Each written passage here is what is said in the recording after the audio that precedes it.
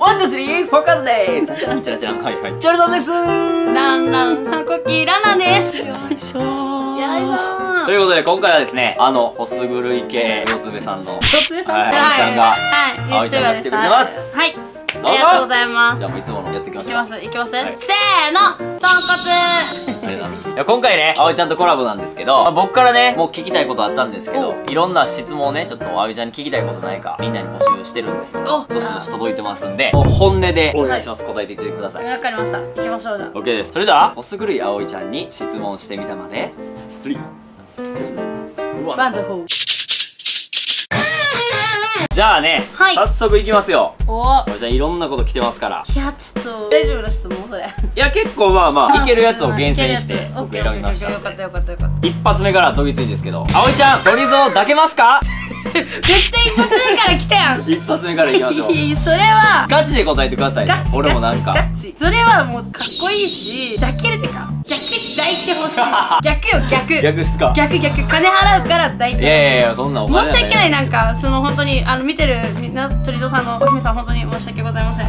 次オツ狂いになったきっかけは？すぐるいになったきっかけは簡単に言うともう私ホストの人にめちゃくちゃ育てされてて17歳の時出会った女の子が歌舞伎町で出会った子が、はい。ホストってこういうとこだよって連れてかれて全部育てって知って、はい。そっからなんかでもやっぱかっこいいし他の人につけてちょっとハマりました。ああ、はい。あそれがもうきっかけなんでね。そうですそうです。初めて育て育てから始まって、えーあの育てっていうのはねあの分からない時で来てもらうために ちょっとね一生懸命。ね私もうちょっと細かったから。体型がですか？そうそうそうそう。どれどれぐらいやった？の45とか。へえ55とかでちょっとぽっちゃりしてって、みたいな。でやった人がウソだった。と声かけられて付き合ってて俺のお客さんが持ってきた金が偽札でで私も17歳で子供だからうん。知らなくてうん。偽札だったから俺殺されるかもしれないみたいな。すごいエピソード言って私好きだから夜やろうかってて支えるわっていうから支えるわって言って出稼ぎに生かされそうになった時に出会った女の子が全部嘘だよっつって出稼ぎに行く2日前ぐらい飛んだその人から。別に会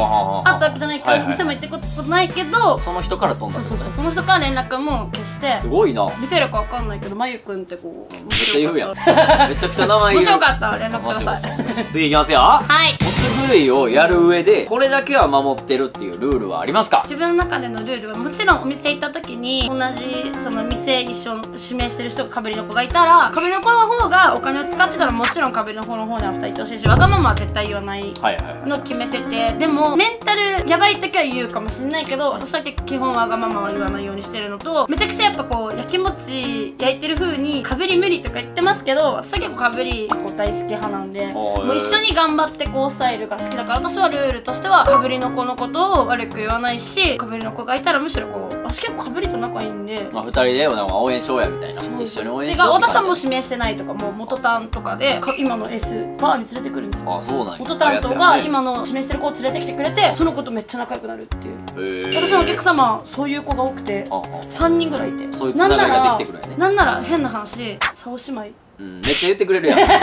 めちゃくちゃ言ってく竿れるやん。姉妹がいるんですあよ竿姉妹がいて私の親友ちゃんは竿姉妹ですへえ結構聞いてんのに全部言ってくれんな。なんかありがとう。ベラベラベラベラなんか嬉しい、はい。次。次。恋人を選ぶならぶっちゃけ顔性格？顔か性格どっちか。自分の中でやっぱ譲れないものって結構あるじゃないですか、はいはい。清潔感とか、はいはい。私結構最近若い頃はやっぱりジャニーズが大好きだったからもう顔で選んで失敗して。で最近はなんかあんまり気にしないんですけどやっぱ性格が大事だなと思ってるから挨拶してくれる子とかちゃんとこう LINE がマメだったりとかそういう子がすごい礼儀正しい子が好きなんで、まあ、最近は性格かなって。でも細身の人が好き。フォーカードのメンバーってコメちゃんですもんね。コメちゃんぽっちゃりですけど。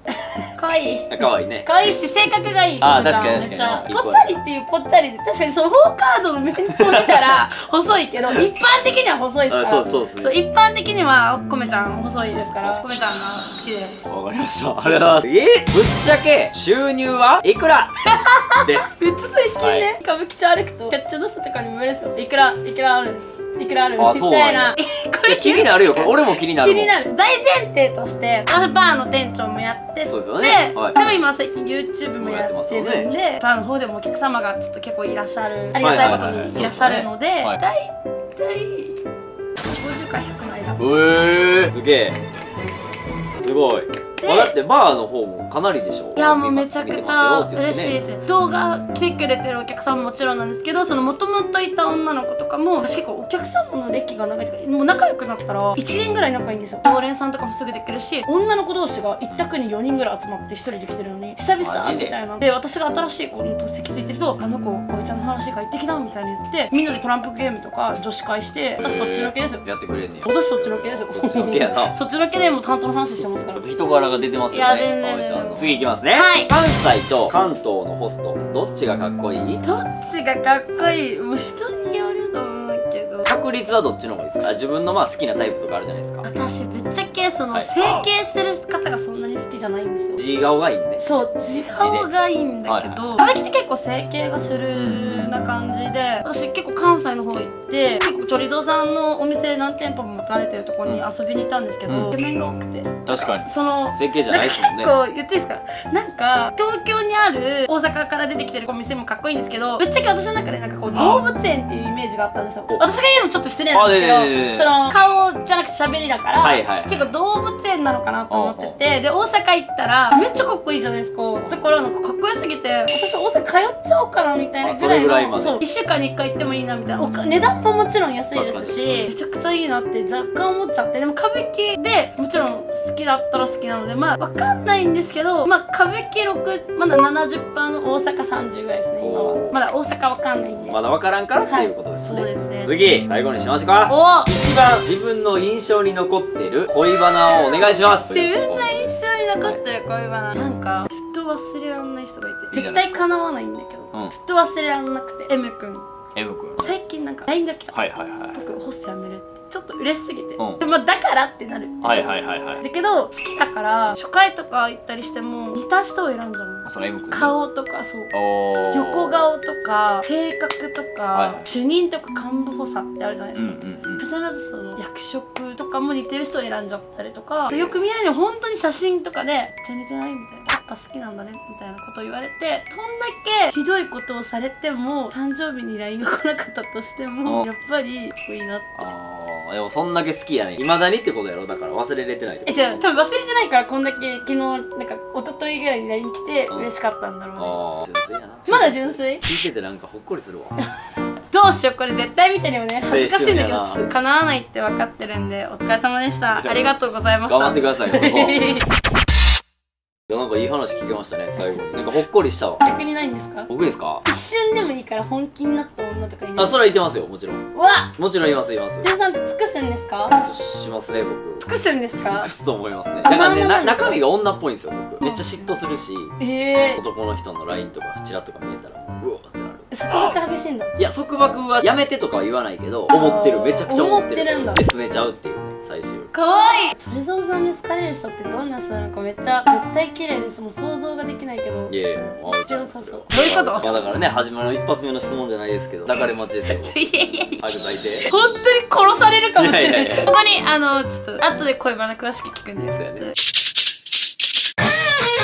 やねということで今回は葵ちゃんにね質問を募集して答えていただきましたはいありがとうございます葵ちゃんのね方の動画にも送らさせていただいてるんで、はいチャンネル登録と高評価とコメントお待ちしてますじゃあお疲れ様でしたはい、ありがとうございましたありがとうございました。いやこの後何する？の？ちょろちょろしようかなって感じかなちょっとって何なの？じゃあさ、もうさバリアン行か？ん？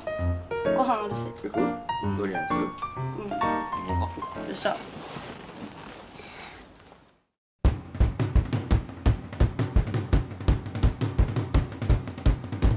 私チョリゾーが9月に誕生日ということなので普段レンレンは大阪で働いてくれてるんですけどはい、僕は大阪の南の方で普段働かせていただいてるんですけど今回いつもお世話になってる鳥野さんを一緒に祝いたいということで9月に鳥野さんの持っているお店全部回ろうかなと思ってます。ということは北海道沖縄歌舞伎町全部回ってくれるということでいいのかな？はい。ありがとうございます。よいしょー。日程の方はこちらになります今回の限定出勤について質問等あれば Twitter、Instagram の方 DM お待ちしております。DM の方がたくさん来るので返信の方がねできない時もありますが決して無視してるわけじゃないんで何回か DM の方お願いします。もちろんゲリラでねお店の方遊びに来ていただいても全然 OK なんで指名待ってまーす待ってます。